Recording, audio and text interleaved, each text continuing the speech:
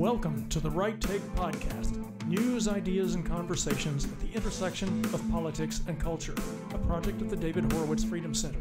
I will be your host, Mark Tapson.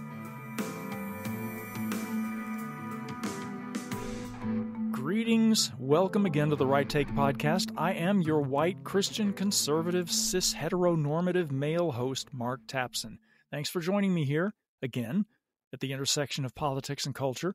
Speaking of the culture, it's easy to complain about the state of the entertainment industry and to hate on Hollywood and all of its wokeness and its open contempt for middle America and its values and its people.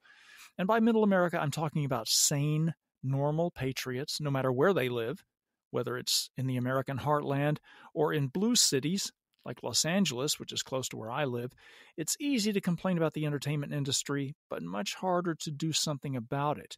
As I've mentioned on numerous occasions, many conservatives have simply and understandably turned their backs on Hollywood and the mainstream entertainment industry. They cancel their Netflix accounts, they cancel their Disney Plus. It's getting harder to find good movies and shows that aren't packed with left wing political messaging or explicit sex and an almost pornographic obsession with graphic violence or that aren't trying to normalize the freakish behavior of the woke left.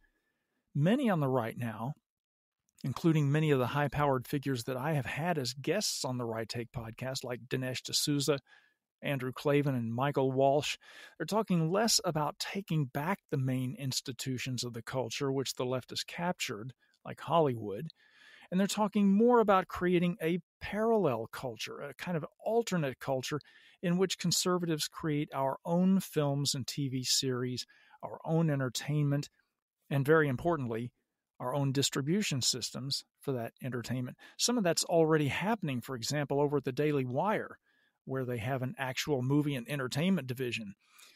I absolutely believe this is a wise strategy for reclaiming the culture. It doesn't mean that you don't also continue to fight in the mainstream culture and don't continue to try to take back the cultural arenas like showbiz and education and academia and the news media that the left long ago infiltrated and seized control of. But there's no reason why we can't and shouldn't become culture creators ourselves, for ourselves. And when I speak publicly to conservative audiences about the decadent and corroding state of our culture, they want to know what they can do. They don't want to feel helpless or just sit around and complain while the Titanic goes down. They want some action items. And I do offer them some suggestions about things they can do in their own lives, in their own sphere of influence, in their own communities. But the fact of the matter is that it's hard to move the needle of the culture unless you own your own movie studio or publishing company or social media network, etc. But you know, my guest today on The Right Take has proven that that's not an entirely correct way to look at things. He's an aspiring filmmaker, a white conservative Christian, I might add. In other words, someone who isn't likely to get a very fair shake in today's Hollywood, which is already difficult enough to break into. He's a guy with no special contacts in showbiz to speak of.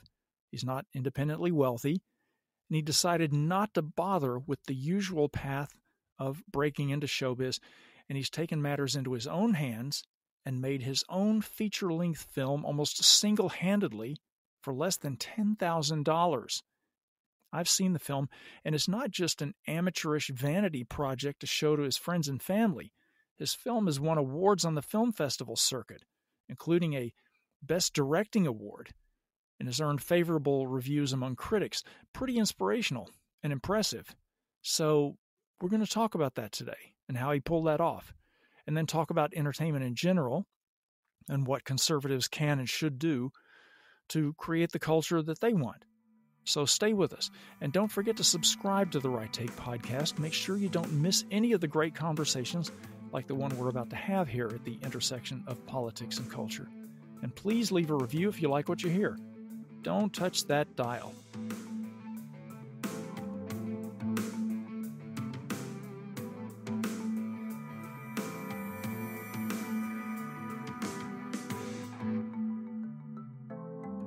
My guest today at The Right Take is filmmaker and my friend Paul Roland. He's a native of Pasadena who graduated from Cal State Northridge with a degree in media management but he's been pursuing filmmaking since high school. He's written six feature film screenplays and just released his directorial debut called Exemplum, which was produced on a budget of $9,500 with a skeleton crew of four people. Paul himself wrote, directed, and starred in it. Paul Roland, welcome to the Right Take podcast. Thank you for having me, Mark. Congratulations on the film, first of all. You legitimately can be called a filmmaker now. Uh, you put this you put this 90 minute film together almost what is it, how long is it 90 minutes uh, it's 96 minutes long exactly yeah yeah right you put that uh, film together almost single-handedly your first film and it recently earned you a best director award is it the pasadena film festival that's correct yes that's got to feel like some major validation and a great kickstart to your film career first one out of the gate and you're a best director well it felt I, I, can definitely tell you it, it was a, a joyous day uh, when they called my name uh, for that award. Uh, we were up against uh, films with over a hundred thousand dollar budgets and, and full working crews, and uh, to be able to, to win that award uh, was was was truly something. I did not expect that to happen because when you're at, at film festival, it's already hard enough at film festivals to get into them. And then you know when once you're in them you have no idea what the jury or selection community uh, what kind of criteria they have for judging your film. So it's just a crapshoot and and and they selected us for that and i was deeply thankful. Fantastic. Now you credit ingmar bergman fritz lang and james cameron as the three main influences on your filmmaking style. Now those are three names you don't ordinarily hear linked together. What is it that you found inspirational about those directors well, that's very. Uh, I'm glad you asked me that question. I haven't really spoken with that uh, uh, with people that often. Uh, so I mostly say um, I, I, identify with Fritz Lang's uh, for his plots, uh, most especially M. I find M to be one of the best films ever made. just such a fascinating plot. just just how complicated it gets about this serial killer on the streets of Berlin, and it becomes this cat and mouse game between uh, the plot and the and the being the police and the criminal underworld, and uh, it flips it on its head at the end, uh, where you think you hate someone so much, and then you realize that uh, that you you know that person is a human being, and the people you think are good people actually are not the good people. Uh, so that uh, for Fritz Lang for that, and of course, I mean Metropolis is, is one of the um, I think it's almost 100 years old now, and uh, it's still an amazing visual piece of cinema to watch. And um, I say Ingmar Bergman for his themes. Uh, if you notice, especially in this movie, uh, especially in, in, Exemplum, uh, it's very Ingmar Bergman heavy uh, in terms of its reflections on spiritual spirituality and Christianity uh, and the conflict in uh, in man. Uh, I don't agree with all of Ingmar Bergman's conclusions, but I like how he asked the question, is what I like to tell people. And then lastly, James Cameron for his spectacle. There's just, uh, I don't think a filmmaker has existed since that has been able to match him in terms of spectacle. Every single one of his movies uh, are an experience to, even if you may not agree with every one of his positions, uh, they're always an experience that you have to get out there and enjoy. And you've also written six screenplays, uh, which says a lot about your passion for filmmaking, actually, because in Los Angeles, there are about 4 million people, and every one of them has written a screenplay. But the, num- but the number of people who have written two or more, that plunges pretty significantly. And then people who have six under their belt, you can say they're, they're serious about screenwriting. What are these all kind of in the same genre um, as Exemplum, or um, what are what are the others about? I know I read one of yours, a, a kind of a medieval horror flick, which I thought was an interesting concept and uh, and a great story. Uh, what about the others? Yeah, I like to delve in all different types of genres. I would say my primary passion is in fantasy. With the one that you read, it was then titled The Bound. Now it's called Nightfire, and it's changed dramatically uh, since then. I mean, that was kind of my first stab at uh, feature screenwriting after I'd written some short films. Uh, so uh, that was a that was a dark fantasy. i uh, still very passionate about that film, and we'll get back hopefully get back to it another day. Uh, but I've also written I've written a sci-fi film um, that took place took place on New Year's Eve, 1999. It's about aliens that um, travel through space by hurling their consciousness across the universe um, and taking over comatose human bodies. Uh, and then I wrote a political thriller uh, that was kind of more in like a two million dollar uh, range. And then I was also commissioned to write a screenplay uh, um, a friend of mine. Uh, this was this was uh, really fascinating. Uh, she had optioned this book called The Village Bride of Beverly Hills. Um, she had uh, worked with various different writers on it, and then she finally was doing another draft, and she posted a writer friend of mine to see if he could do it. He didn't have the time, so he recommended me for it. And this was a, a, a romantic comedy about an Indian arranged marriage, so it was completely out of my my wheelhouse and it was I loved it. I actually always tell people that's uh, the most fun I have ever had writing something because it was out of my wheelhouse and I was diving into a genre that I hadn't really worked in before. Uh, and it was just fascinating learning about this this culture, this Indian arranged marriage cultures, how they have marriage brokers that put people together, and how these marriages, even though they're arranged, are actually very strong. I, I loved writing that film, um, and it was after actually after that I, I wrote another short film that I had intended to create, but in the process of finding the money for that, that's when I just decided that I was going to create this low budget uh, feature film for nine thousand dollars, and that became Exemplum. Hmm. Yeah, I'm going to talk about that uh, about how you got that project off the ground in a moment. But let me just mention that I've seen the film, and you know I used to be part of that world, um, part of that Hollywood world, and I, I know lots of actors and wannabe filmmakers who went out and made short films to showcase their work, and they they tend to be pretty amateurish. This is not that.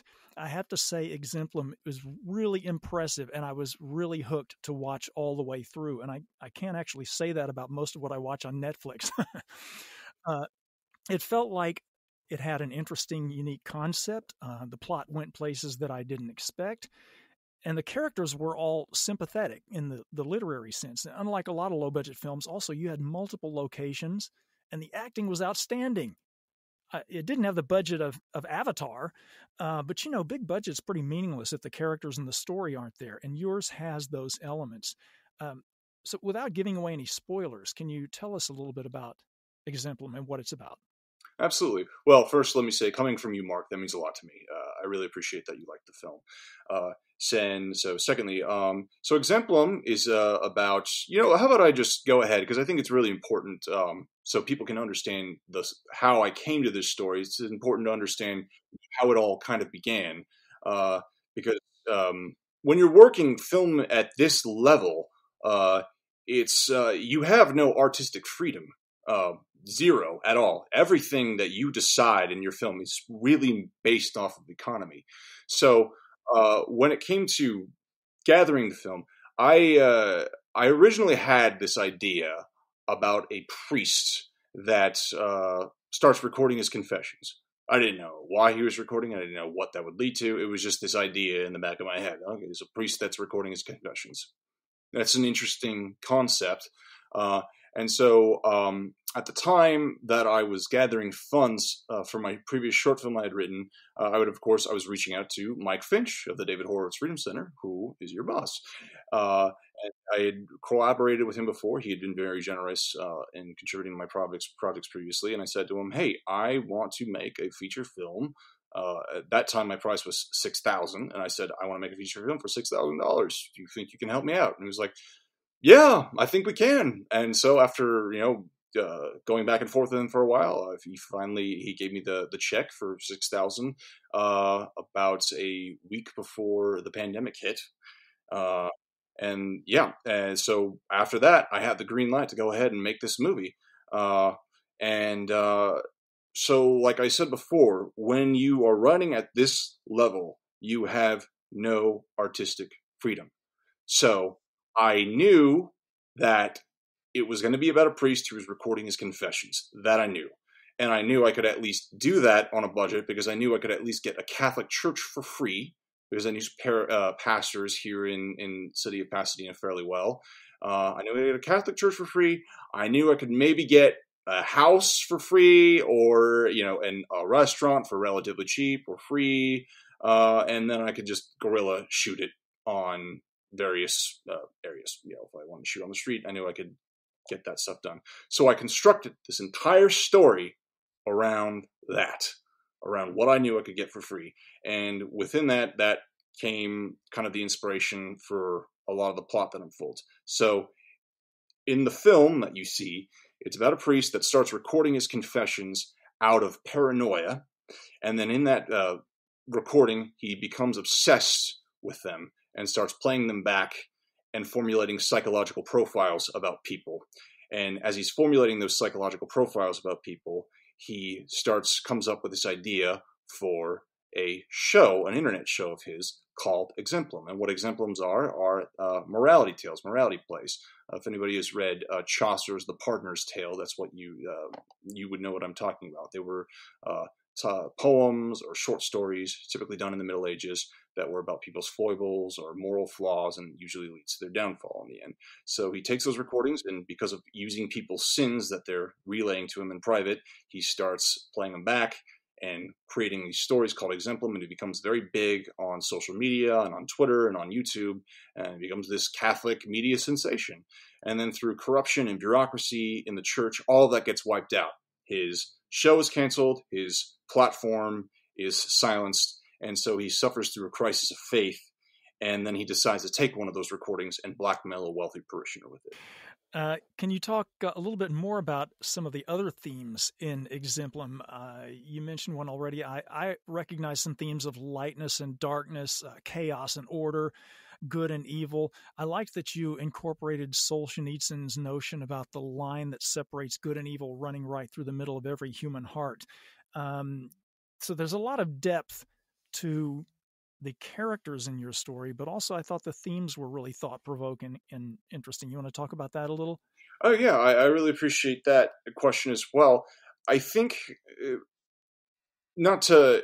I didn't set out to create this kind of story. It wasn't like, oh, I, I, I want to tell this story, but I think this is just kind of what it became in terms of just this is the ethos of a man recording confessions and keeping them to himself and i do think it is a philosophical and spiritual meditation on what we know today as cancel culture. Not in a not in a political sense. I think that the word term cancel culture gets thrown around in a political sense where it's like you know people i'm on the good, good the good guy in cancel culture you know i'm i'm not i'm not going to cancel anyone. But i think all of us have the propensity to cancel people. I think all of us have the propensity to judge or hold a grudge and and and and take people's wrongdoing and use them uh, for power and, and, gain and benefit. And I think that's what a, a, lot of the film is, is a reflection on that. He takes people's sins, uh, he records them, and he uses them for his own gain and his own power. And then, and in that, he uses it to try and to, to destroy people. Uh, and that's why uh, you. I'm glad you mentioned uh, Solzhenitsyn. That's quoted in the film.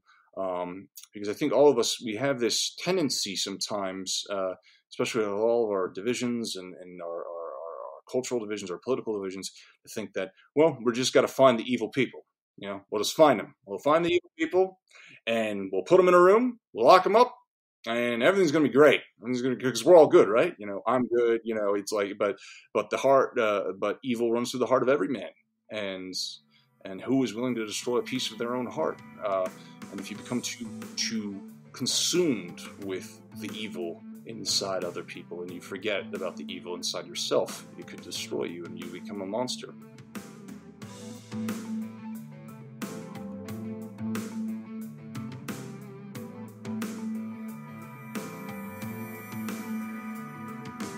Uh, now, did you let me back up a little bit and talk about the financing for this thing? Did you uh, go to anyone else or try to get uh, financing anywhere else before you went to uh, Mike Finch, the president of the, of the, David Horowitz Freedom Center, either for this film or for any of the other projects that you had, um, you know, that you were working on? Oh yeah, absolutely. I mean, I, I had, uh, I mean, each and every project I, I, had tried to get off the ground, but uh, Hollywood is an incredibly difficult place. I don't care. I mean, conservative Hollywood is a very difficult place. Catholic Hollywood is a difficult place. The everything is, it's extraordinarily hard to get anything uh, done or get anybody to, to give you give you an opportunity and look at your stuff. And and Mike Fincher is one of the few people. Is uh, who actually did give me an opportunity and, and believed in me, and I, I, give him full praise and credit for for, for giving me this opportunity. Uh, and I hope that I, uh, I that I delivered upon uh, my promise. Uh, so he was the first person I approached this, and he was the first person, and he was pretty much the only person that I was looking to see he would finance the film uh, at the time. And then after the script was written, I was able to get another one. Uh, I was able to get another thousand dollars from my friend, producer friend Lynette Tariki, uh, and then I was able to get another twenty five hundred from Seth Dillon of the Babylon Bee. Yeah. Yeah, him and I were sort of email pen pals uh, throughout uh, the years, and I sent him the scripts and said, "Hey, I'm just looking for extra financing on this." And he said, "Paul, I haven't read a script before, but I'm glad that this is the first one I've read." And so he agreed to help me out in that regard, and so he earned an executive producer credit. Wow, it's very interesting. Well, I can tell you that my experience, my personal experience, uh, trying to get funding for quote unquote conservative projects, it's really like pulling teeth to get money out of, uh, uh, you know, affluent or wealthy conservatives. Has that at all been your experience I mean, in terms of trying to get, uh, you know, conservatives with money to finance anything? Or it is extremely difficult. It has been extremely difficult. That's uh, you know I, I can that's that's the short version of that. Obviously, you know I, I, but you know there there there are good pockets. You know people that you can find. You know like you know Mike Finch helping me out and Seth Dillon helping me out, and there are you know wonderful people out there who I think really do care. You just gotta you just really gotta find them. It just it's it's tough. I would say the biggest uh, issue is you know the left did a horrible thing by weaponizing culture and weaponizing arts and filmmaking in that regard. Um, and then I think the right thought that the answer to that was to weaponize it on our side, in our terms, and look for sort of a political bottom line with everything. So you're not going to really get, I, I think it's very difficult to get conservatives to want you invest in the culture because you know to create really good everlasting culture i mean there's not going to really going to be a kind of political bottom line to it. I mean i can't i mean i did talk about how this film is a uh, reflection on cancel culture in some ways but I, I, it's not there's no political bottom line to this movie. Um, and that's really what art is you know truly great art is just is art for art's sake. It's you know it's films for filmmaking's sake. And and so if i could say if they could get more into the we want to invest in restoring the culture, uh, invest in creating works that's going to unite people, that's going to bring people together, that's going to be a bridge rather than you know a weapon to cast into this uh, awful cultural war that we have going on. You know, if I can have Democrats and Republicans sit and watch my movie together, and then at the end of the film talk about it together and have something that they both can relate to then I did something good. I did something good. I did something that that I, that I gave people something to experience with each other, and that is what truly makes culture great, and that's what we need to be focused on building. Yeah, I agree. Great storytelling and great art have to be above political messaging.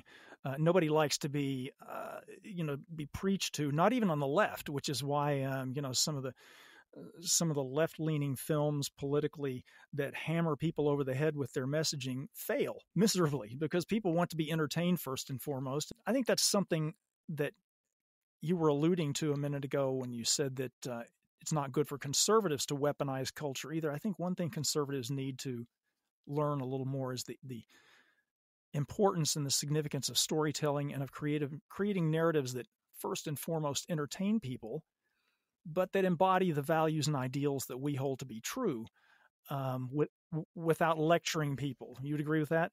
Yeah, well, absolutely. So you know, I would say that you know what what we what happened in the 20th century, the late 20th century, uh, is you know we have this wonderful deposit of Western culture. You know, 2,000 years of it, uh, arc from architecture to literature to paintings, uh, and then filmmaking added on. Uh, towards the towards the end of all of that.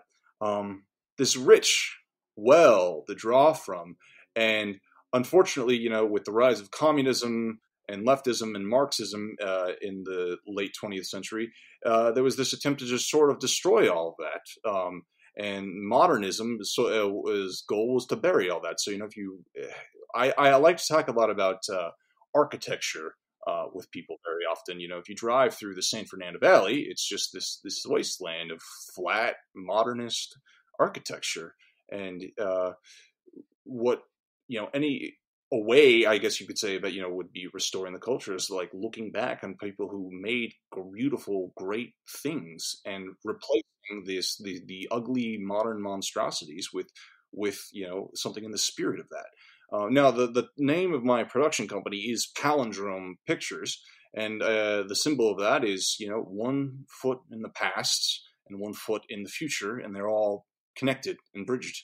Uh, and that should be the the conservative or the or the traditional artist's goal is to uh, to bridge that beautiful past that you know and to build uh, with with the future that's coming forward. Yeah, uh, the late conservative philosopher Roger Scruton has a lot to say about uh, beauty and architecture and uh, the failure of modern architecture to to strive for the true and the good and the beautiful, and in fact, the failure of modern art in general to do that. And I I do think that's one thing that conservatives should strive for is, as you put it so nicely, is uh, connecting the past and the future, uh, carrying down that incredible cultural legacy of Western civilization and, and expanding on that, but always striving for the true, the good, and the beautiful in storytelling. Always, yes, um, absolutely. And it, Roger Scruton is very much an, an, influence of mine. Yes. Oh, interesting. Uh, but I see a lot of things on Netflix that strike me as just flat out demonic and I'm thinking, what is happening to our culture? What is going on in the film world? I mean, it's it's just very disturbing sometimes. How do we kind of pull back from that? Oh, I I agree with you. I'm I'm disgusted with it myself. Uh, it, like again, you know, it's it's it's a tough um, line to walk because uh, you know then because I would feel like the conservative answer to that. Well, we're going to make you know uh, conservative. You know, we're going to push the conservative message hard, you know, and create our our movies, and that you know that doesn't do anything. You know, we have to empower real artists here. You know, artists that and they you know and they're out there. They're out there. I'm not the you know I'm not the only. One. Uh, there's plenty of the people who worked on this. Uh, uh, film and or who gave contributions to it in some way, you know, are people or, or serious artists that work in the industry. Uh, people like my, uh, I won't use his name to, not to out him because he didn't want to be outed, but uh, you know, he's a uh, art director that's working on various HBO shows uh, right now. Uh, and they're out there. We have to empower these artists because they care. They, they care about creating good work that's not going to get into this woke garbage. Um, you know, but it's not going to it's not, it's not going to get you to go out there and, and vote for vote vote for Donald Trump or vote Republican. What it's going to do is it's going to fill your human soul with its need for for catharsis and its need for, for affirmation of existence and uh, that's what we need to look out and empower. Um, there are people out there doing it uh, i you know i as to how we organize that that's very difficult. It's it's extraordinarily difficult. Um, i'm doing the best i can with with where i'm at and with what i have um, and i hope exemplum does well enough that it can enable me to do my next project and bring more of those people on board and and and and just keep building that coalition or if there's another coalition out there that's that's already building that, that i don't know of and i'm not aware about and you know we can join forces great because we need to working together. Yeah, and along those lines, I think a lot of conservatives these days are suggesting that we expend less time and energy taking back the existing institutions of the culture, like Hollywood, and instead uh, put our energies toward creating a, a kind of a parallel culture, an alternate culture in which we create our own films and TV series, our own entertainment, our own distribution systems, uh, and find our audiences that way. What What do you think about that idea of a parallel culture? I think it's I think it's true. I think it's a, a, a good idea. It's certainly one that I hold to. I just think the question is, you know, are you building a parallel culture, or are you just building an echo chamber, or you're just building, or you know, as I like to tell some people, sometimes you're just building a conservative gulag, so certain people who want to uh, be kings of that gulag can overrule us. You know, because you have to, because if you are going to be creating that parallel culture, then you have to be creating that that culture something that's really special and beautiful that are gonna you know and that culture will will blossom you know it will bring other people into it. It'll bring uh, liberal minded people or left wing minded people in because it will be interesting it'll be special uh, and people want to partake and participate in something like that. Um, so yeah i do i do support that um, and uh, you know there I, I, do think that technology and the way things have uh, changed over the decades are certainly are enabling that because it's just now you're able to create things and just and put them out there um, you know the, those systems of power are are crumbling. Uh, and that what probably will happen is we'll probably go through like an age where you know you have these independent artists who are doing their own thing, putting them out there, building an audience, and uh, and then they create their own institutions, uh, and that, that, that's all that's all positive. Um, yeah.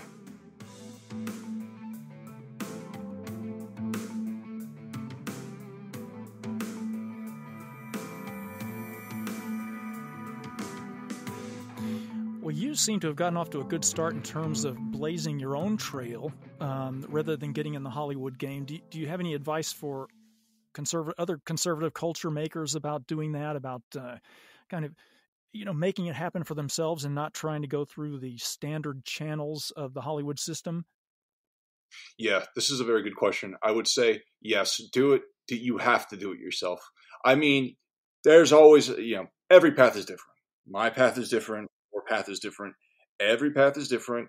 You know, there there are definitely people who just do the traditional route and go through the system, and they everything works out fine for them. And then there are people that go my way, everything is a disaster for them. And then the people that go my way, everything you know works out. So I don't I can't say what is you know going to happen, but I can say this. You know, if you want it, you have to get it done yourself because you can try and wait, but I can tell you that nobody is going to say yes to you. So you have to try and just figure out how can I get done what it is I need to get done. Um, you know, people might ask me, you know, oh, should I make a feature film or should I make a short film? Um, that's difficult uh, for me to say. You know, short films. There, the reason why I did the feature film route is because short films are a dime a dozen, and um, um, short films are a dime a dozen, and you kind of have no idea uh, what's going to come out of that. You could make them, and then you put them out in a film festival, and then you know, then you're waiting for someone to hire you for something, and there's really no money to be made. You know, with at least a feature film, and you go through the pain and the struggle of doing that on a low budget, you at least have a product that you could maybe sell to people, and in that, you might be able to move on to your next product.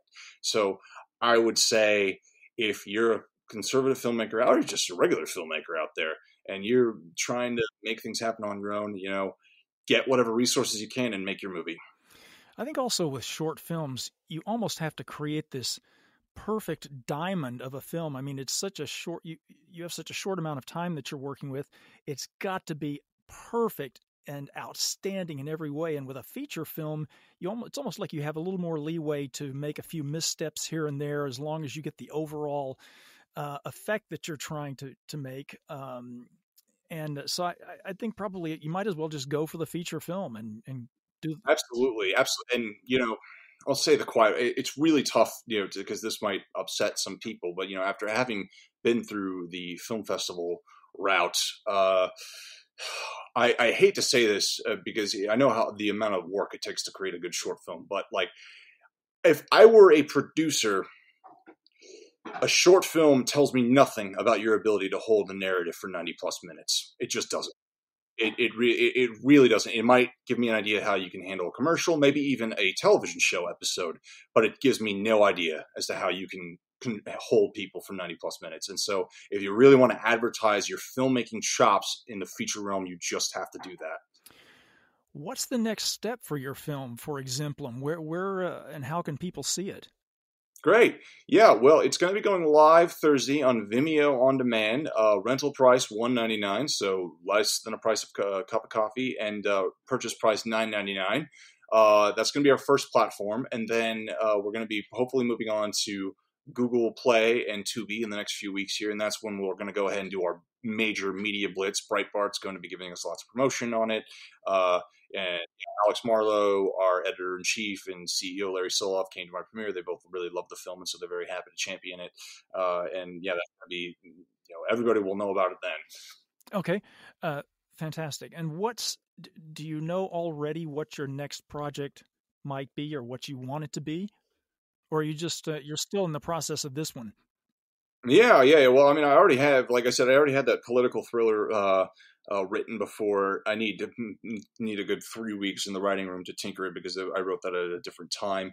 Uh, uh, I don't think that that's necessarily the next film for me. Uh, but there there are a couple of ideas that I'm working on, some more low budget sci-fi's. I think if I can get a, I've already proven that you know once I have the budget, I can write in what that needs. So if I am able to, if my next project can be in the one hundred thousand, two hundred thousand dollar budget range, um, then I'm confident that I can make the movie that will deliver uh, what that needs and be special for for what that range is. What are you watching now that you're excited about, or that's um, interesting to you, or something you would recommend? Uh, wow. Uh, I, yeah, I, I got to think about that one. Uh, yeah, you already mentioned a couple of uh, Fritz Lang's movies that you thought were outstanding, and uh, but I'm just wondering if there's anything out there. Yeah, uh, you know, I mentioned this uh, over over Christmas, um, uh, but it's it's still a wonderful film, and I I, I recommend people uh, give it a watch. It's it's you know all four hours of it, but I would re- recommend Ingmar Bergman's Fanny and Alexander if you haven't seen it. It's a, a wonderful, remarkable film. Um, about a boy's journey, uh, you know, losing his father and going suffering an abusive stepfather, and a lot of spiritual reflections and themes in that. So, if you have the time to watch Fanny's Alexander, I would recommend that. And anything current that uh, that you like, or is it all just? Yeah, actually, you know, I did. I watched uh, The Whale, Darren Aronofsky's The Whale, um, this past Friday.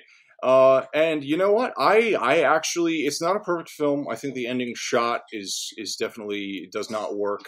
Um, but I I actually did enjoy it. I think uh, I can see why the critics were so divided on it because it is not politically correct.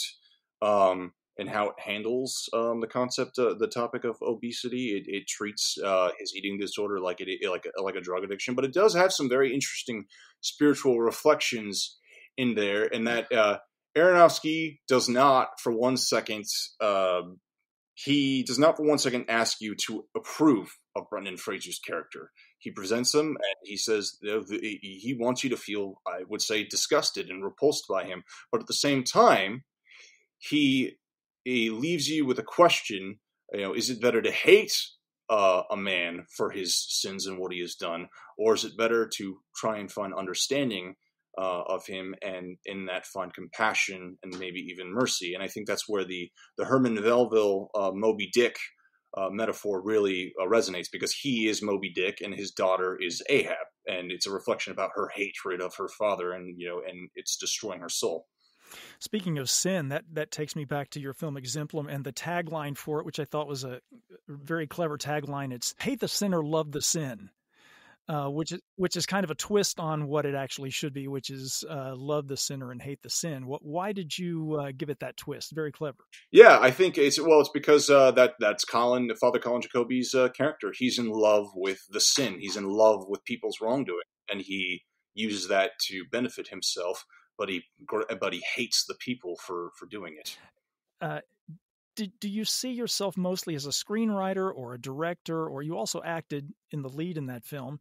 Um, and did you do that out of necessity, being the lead, or did you do you have acting ambitions? Yes, uh, no, no, it was one hundred percent a a budgetary choice. Uh, I am a writer director. I have no desire, no desire at all to keep to, to, do this again. I mean, the it was very difficult. I mean, it, it, to be directing yourself uh, at this level budget, but I but I had to because this is a like I said, we made this movie for nine thousand five hundred dollars and uh, shooting over seven weekends uh, uh to get a talented actor who is going to come out be a part of that for you know for absolutely no money was was I knew was going to be very difficult and just not having someone else's schedule to maintain. So that's why I decided to play the uh, role. I wanted to ask you about if if you don't mind talking about it, I know that you were going through some personal struggles at the time that you were making the film, which really contributed to uh, the stress level of of getting it all done and and directing and writing and starring and producing in this thing. Do you want to talk a little bit about that? Oh, sure, sure. You know, I mean, uh, anybody who wants to see the story in full, uh, there's a video uh, on our Instagram page on my Instagram page at Proland uh, Films is the Instagram handle. Uh, you can give the full story that I that I gave uh, at the film's premiere. Uh, but basically, yeah, we, you know, I got the funds, and then COVID hit.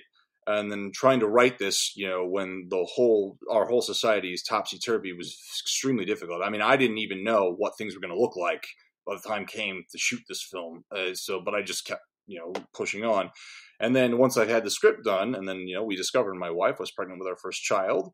Uh, then a pipe burst uh, up above us. Our neighbor who was uh, renovating his unit uh, just was act of negligence, and he flooded our whole uh, apartment, uh, our whole condo actually, and so we had to live in Airbnbs for the next five months. So, yeah, I was like, we were living in Airbnbs. My wife's pregnant. I have to get this film shot because I know I'm never going to get an opportunity. And then, you know, I persisted, and we got it done. Well, I wondered if all of that personal stress that was going on behind the scenes contributed to the intensity of your acting performance. Because I was thinking that as I watched the film, because I knew you had been through a lot of personal stuff while you were filming it, and I wondered if uh, if that helped you with the character in any way. If you were able to bring that kind of stress and and uh, personal anguish to the role. Well, it's certainly possible. I mean, you know, when you see me on screen, like uh, literally 10 seconds ago, uh, I'm thinking to myself about how the heck am I gonna like how am I gonna get you know the next location? You know what am I gonna order for food for people? Uh, you know uh, what's my wife you know doing right now? I mean I, am going. I have 20 different things going on in my in my mind, and then you know I yell action, and I have to be Colin Jacoby. So you, you might be right about that. Yeah, Paul, what is the best way for people to keep up with you? Yeah, you can follow uh, follow me on Instagram at Proland Films uh, or on Twitter at Proland Films. Uh, those are probably the two of the best methods. Uh, or you know, uh, you can follow me over at Breitbart News uh, with my name Paul Bois B O I S, and that's where we'll be doing a lot of promotion. yeah, those places. Fantastic. Well, best of luck with the film. Um, and thanks for coming on the Right Take podcast. I'm really looking forward to seeing what you do next, how uh, Exemplum plays out, and uh, then what your next project is. Well, thank you, Mark. It was a real pleasure uh, being here, and uh, I hope I can come on to your podcast uh, many times to discuss my projects. That would be awesome. Thanks again, Paul. Thank you. The Right Take with Mark Tapson is a project of the David Horowitz Freedom Center and Front Page Magazine. Unauthorized reproduction of this podcast without express written consent is prohibited.